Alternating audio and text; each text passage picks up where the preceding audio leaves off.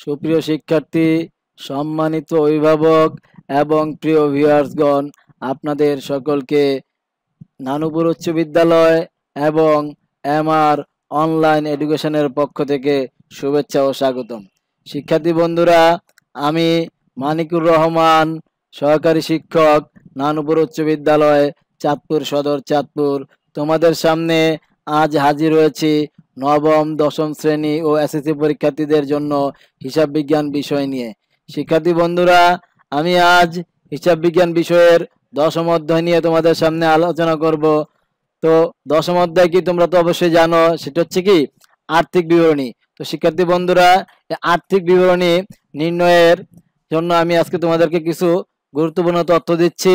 তোমরা সকলে মনোযোগ সহকারে ফলো করো। শিক্ষার্থী বন্ধুরা, আমরা প্রথমেই দেখো, এই পাঠ শেষে কি কি জানব তা বলতেছি, খেয়াল করো। নিট ক্রয় মূল্য ও নিট বিক্রয় মূল্য নির্ণয় করতে পারবে। মোট মুনাফা বা মোট ক্ষতির পরিমাণ নির্ণয় করতে পারবে। মোট মুনাফা বা মোট ক্ষতি নির্ণয়ের ছক উপস্থাপন করতে পারবে।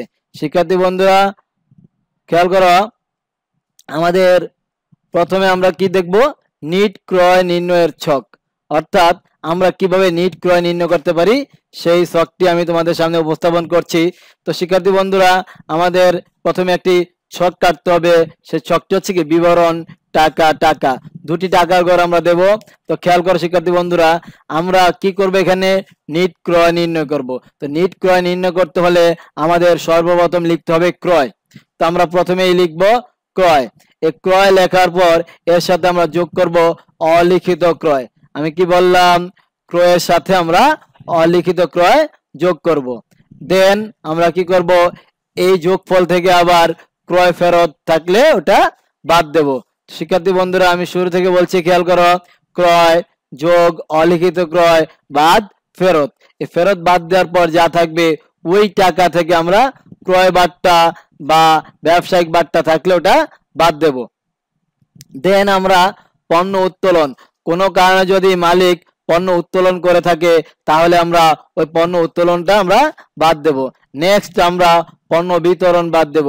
পণ্য বিতরণ, ব্যবসায়িক প্রচারের জন্য আমরা অনেক সময় পণ্য বিতরণ করে থাকি। ওই পণ্য বিতরণ থাকলে ওটা আমরা বাদ দেব। এই টোটাল যোগ বিয়োগের পর যেই টাকাটা আমরা পাবো, ওইটা আমরা সর্বশেষে ঘরে নিয়ে যাব এবং ওটার নাম দেব কি? নিট ক্রয় ক্লিয়ার শিক্ষার্থী বন্ধুরা? তাহলে আমি আরেকবার বলতেছি, দেখো নিট ক্রয় আমরা কীভাবে করব? ক্রয়, যোগ, অলিখিত ক্রয়, বাদ, ফেরত, বাদ ক্রয় বার্তা বাদ, পণ্য উত্তোলন, বাদ, পণ্য বিতরণ। তাহলে আমরা কি পেলাম? রাইট ইউয়ার আমরা পেলাম নিট ক্রয়। শিক্ষার্থী বন্ধুরা, আমরা এখন দেখব কীভাবে নিট বিক্রয় নির্ণয় করা যায়। দেখো শিক্ষার্থী বন্ধুরা, ওই একই নিয়মে আমরা গড় কাটবো বা ছক কাটবো, তারপর আমরা শুরুতে লিখব বিক্রয়। এই বিক্রয় থেকে বাদ দিব আমরা অলিখিত সরি বিক্রয় বিক্রয়ের সাথে যোগ করব আমরা অলিখিত বিক্রয়। বিক্রয় যোগ অলিখিত বিক্রয়, বাদ দেব আমরা ফেরত। অর্থাৎ যদি অঙ্কে আন্তঃফেরত বা বিক্রয় ফেরত থাকে, তাহলে আমরা ওটি বাদ দেব। এরপর আমরা বাদ দেব বিক্রয় বাদটা। কি বাদ দেব? বিক্রয় বার্তা অথবা ব্যবসায়িক বার্তা বা কারবারি বার্তাটা বাদ দেব। এই টোটাল যোগ বিয়োগের পর যে টাকাটা পাবো, সেটির নাম হচ্ছে নিট বিক্রয়। শিক্ষার্থী বন্ধুরা, আমরা কি কি শিখলাম? কীভাবে নিট ক্রয় নির্ণয় করা যায়? তারপর আমরা শিখলাম কীভাবে নিট বিক্রয় নির্ণয় করা যায়। দেখো, নিট ক্রয়, নিট বিক্রয় প্রায় সেম এরপর খেয়াল করো, আমরা শিখব আর্থিক বিবরণী, অর্থাৎ শিক্ষার্থী বন্ধুরা আমরা এই অংশে শিখব বিশদায় বিবরণী। খেয়াল করবে, আর্থিক বিবরণীর মধ্যে দুটো অংশ থাকে শিক্ষার্থী বন্ধুরা। এই দুটো অংশের প্রথম অংশ হচ্ছে বিশদায় বিবরণী, দ্বিতীয় অংশ হচ্ছে আর্থিক অবস্থার বিবরণী। আজ আমরা শিখব বিশদ আয় বিবরণী। তবে বিশদ আয় আমরা পুরো শিখব না, আজ আমরা বিশদ আয় বিবরণী শিখব আংশিক। বিশদ আয় বিবরণীর প্রথম অংশে আমরা করি মোট মুনাফা বা মোট ক্ষতি। দ্বিতীয় অংশে আমরা করি নিট মুনাফা বা নিট ক্ষতির কাজ। এই প্রথম অংশ আমরা শিখব মোট মুনাফা বা মোট ক্ষতি। শিক্ষার্থী বন্ধুরা, আমাদের এই মোট মুনাফা বা মোট ক্ষতি করতে হলে আমাদের বিশদ ব্যবনী করতে হবে। এই বিশদ ব্যবনী আমরা শুরু করি কি দ্বারা? বিক্রয় দ্বারা। তো আমরা কিছুক্ষণ আগে শিখেছি কীভাবে বিক্রয়ের কাজ করতে হয়, অর্থাৎ নিট বিক্রয় কীভাবে করতে হয়। আমরা শুরুতে লিখব নিট বিক্রয়ের কাজ করব এখানে। এই নিট বিক্রয়ের কাজ করার পর দ্বিতীয় ঘর থেকে টাকাটি নিয়ে যাব আমরা। তৃতীয় ঘরে এটা রেখে দেব। এরপর লিখব বাদ বিকৃত বর্ণের ব্যয়। শিক্ষার্থী বন্ধুরা একটু খেয়াল করবে, বিক্রয় থেকে বিকৃত বর্ণের ব্যয় বাদ দিলে মোট মুনাফা বা মোট ক্ষতি বের হয়। বিক্রয় থেকে বিকৃত বর্ণের ব্যয় বাদ দিলে মোট মুনাফা বা মোট ক্ষতি বের হয়। তো শিক্ষার্থী বন্ধুরা, খেয়াল করো, আমরা বিকৃত বর্ণের ব্যয় বাদ দেব। বাদ বিকৃত বর্ণের ব্যয় বিকৃত বর্ণের ব্যয় শুরু হয় প্রারম্ভিক মজুদ দ্বারা। কি দ্বারা শুরু হয়? প্রারম্ভিক মজুদ পণ্য দ্বারা। তো আমরা লিখলাম ব্যয় প্রারম্ভিক মজুদ পণ্য। এরপরে আমরা লিখব ক্রয়ের কাজ করব আমরা। তো আমরা কিছুক্ষণ আগে ক্রয়ের কাজটিও দেখেছি। অর্থাৎ নিট ক্রয় কীভাবে করা যায় সেটিও আমরা কি দেখেছিলাম। তো খেয়াল করে শিক্ষার্থী বন্ধুরা, প্রারম্ভিক মজুদ, এরপর আমরা টোটালি নিট ক্রয়ের কাজ করব।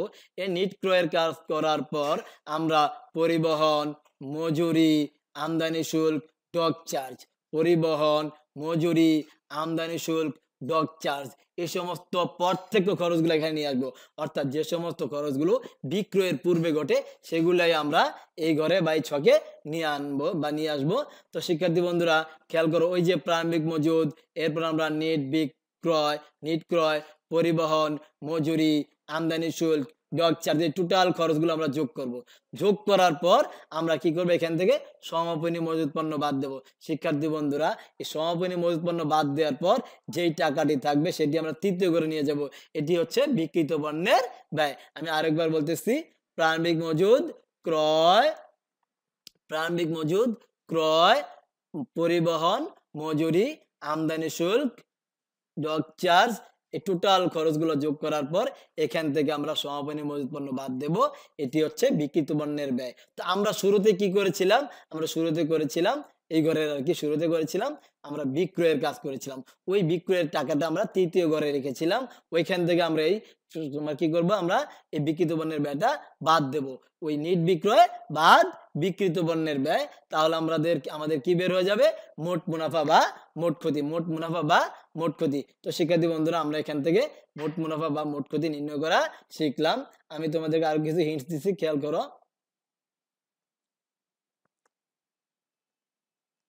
শিক্ষার্থী বন্ধুরা, খেয়াল করো, পণ্যের ক্রয় মূল্য হতে ক্রয় সংক্রান্ত খরচ বাদ দিয়ে নিট ক্রয় মূল্য নির্ণয় করা যায়। কি বললাম? পণ্যের ক্রয় মূল্য হতে ক্রয় সংক্রান্ত খরচ বাদ দিয়ে নিট ক্রয় মূল্য নির্ণয় করা যায়। পণ্যের বিক্রয় মূল্য হতে বিক্রয় সংক্রান্ত খরচ বাদ দিয়ে নিট বিক্রয় মূল্য নির্ণয় করা যায়। নিট বিক্রয় মূল্য হতে বিকৃত পণ্যের মূল্য বাদ দিলে আমাদের মোট মুনাফা বা মোট ক্ষতির পরিমাণ বের হয় তো শিক্ষার্থী বন্ধুরা, তোমাদেরকে আমি আজকে কি শিখালাম? এগুলো তোমরা বাড়িতে ভালো করে দেখবে, কয়েকবার রিপিট করবে, এভাবে শিখবে। তোমাদেরকে আমার পরবর্তী ক্লাস দেখার আমন্ত্রণ জানিয়ে আজকের মতো এখানে শেষ করছি। আল্লাহ হাফেজ, সকলে সুস্থ থেকো, নিরাপদে থেকো।